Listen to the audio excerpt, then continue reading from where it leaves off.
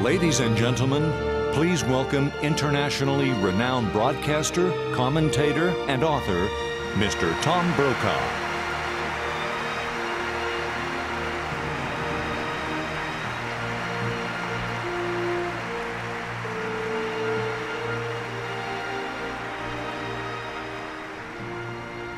Thank you. It is a great pleasure to be with you this evening and to be here with the Mormon Tabernacle Choir and Orchestra at Temple Square. The choir and orchestra have long been an important part of the Brokaw family music library. How blessed we all are, for the choir is truly an American treasure.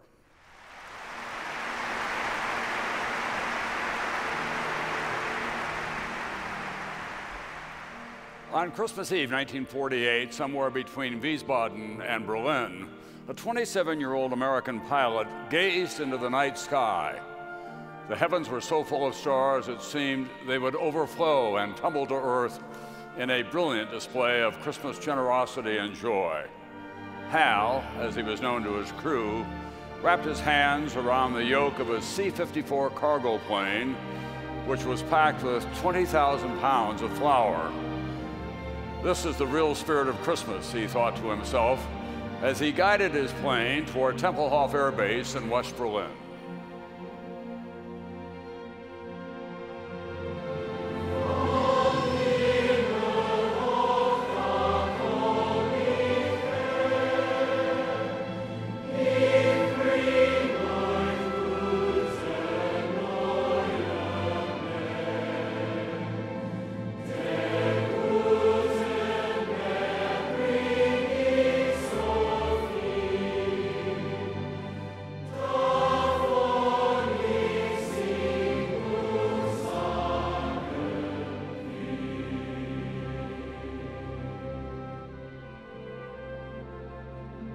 When World War II had ended three years earlier, Germany and its capital city were divided between the Western Allies and the Soviet Union. Then, in a grab for power, Stalin blocked ground transportation into the city. So, to preserve freedom and keep two and a half million West Berliners from starving, the United States and Great Britain began transporting food and other basic supplies by air. Hal was one of hundreds of Americans who participated in the historic Berlin airlift, which was called Operation Vittles.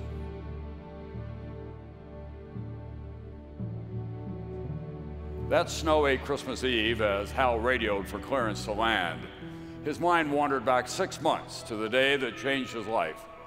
He had been standing at the end of the Tempelhof runway taking home movies of arriving planes when he noticed about 30 children on a grassy strip just beyond a barbed wire fence. In broken English, they asked about the planes, how much flour each one carried, and whether the airlift would continue. Although the children had been on meager rations, they were more concerned with freedom than with flour. They wanted what Hal had the opportunity to pursue their dreams. So for almost an hour, Hal answered their questions before saying goodbye. But as he turned away, one question lingered in his mind. What made these kids different? All over the world, children were known to beg candy from American servicemen. These children had little to eat and no candy at all, yet they were grateful for what the airlift had given them and asked for nothing. Their gratitude melted Hal's heart. Instinctively, he wanted to give something back. Digging into his pockets, he found only two sticks of gum. From little things come big things, his father used to say. A broad smile crossed Hal's boyish face. Giving so little to so many could cause a squabble, he reasoned, but a quiet voice within him urged him on. So Hal broke the gum into four pieces and passed it through the fence. Without a word, the four children tore the gum wrappers into strips and passed them to the others, one by one. Each small nose was pressed to the paper, breathing the minty smell. Never had he seen such expressions of joy and wonder, even at Christmas. As Hal watched in amazement, his mind raced. If only I had more to give, he thought. He had his own rations of gum and chocolate. Maybe his buddies would be willing to donate theirs.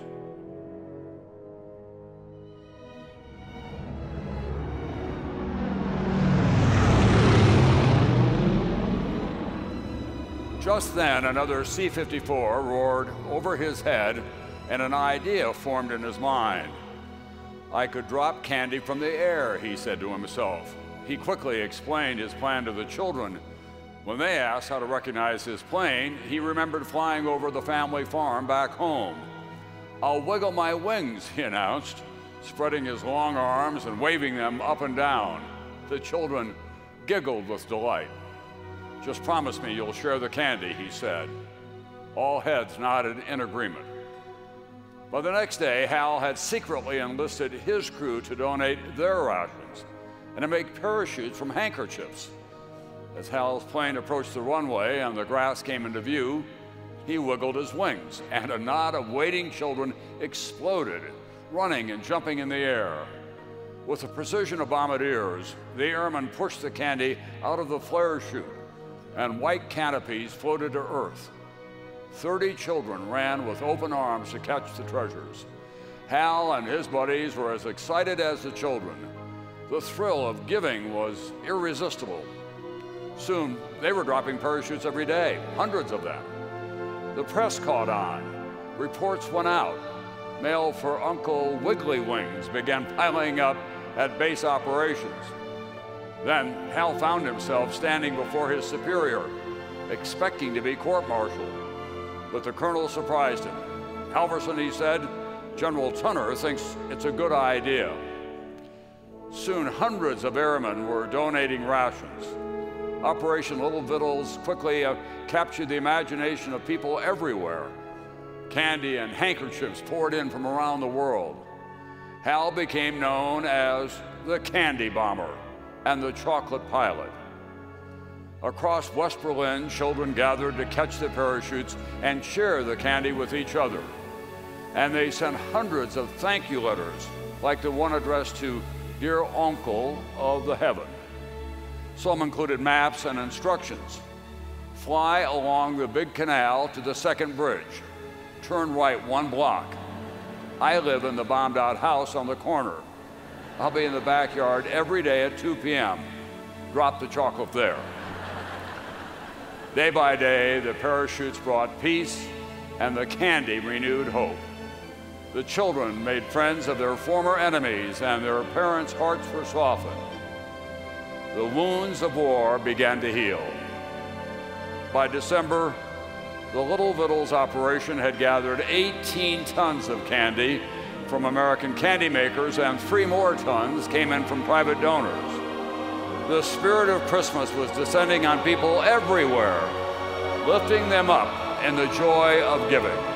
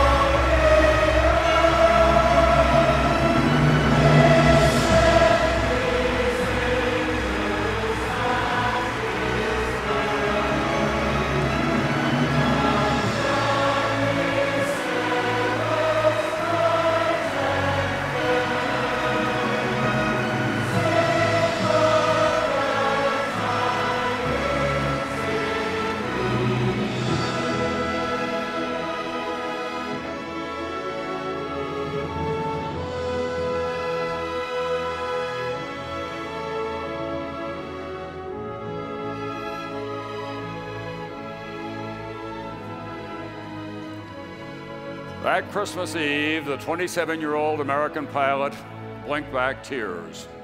The stars overhead could not be more beautiful than skies overflowing with parachutes tumbling to earth in a brilliant display of Christmas generosity and joy. His father was right. From little things come big things. Hal, in his cockpit, pulled back on the yoke as his wheels rolled onto the familiar runway. This is the real spirit of Christmas to give whatever we have, no matter how small the gift. In that moment, Hal Halvorsen prayed for the courage to never give anything less.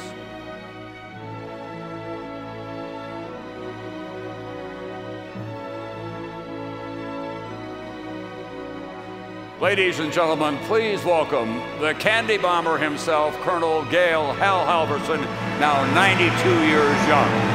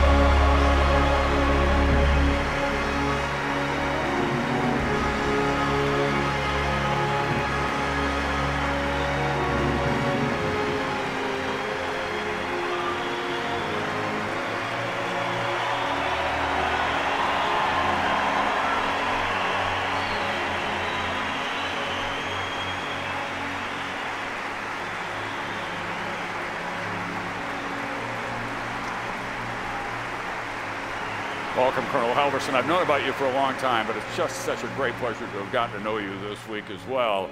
And what a lot of people don't realize is that you went on to become the commander of Tempelhof Air Base. You served in uniform for many more years, and you've been an ambassador of goodwill around the world. We thought it only fitting that we should give you two sticks of gum because they changed your life and the lives of so many. Well, thank you, Tom. This little gift changed my life forever. Thank you very much. And you're wearing the same flight suit that you wore back then. I got it big enough to start with. That's important. I think you, in so many ways, embody the spirit of Christmas, the generosity of your efforts on behalf of those people who had been our enemies after all, the gratitude that they gave you in return, and the idea that we should all try to live together in peace here on earth. Hal, I want to wish you Merry Christmas, and I think we should wish everyone here Merry Christmas. Yes. Merry Christmas, everybody.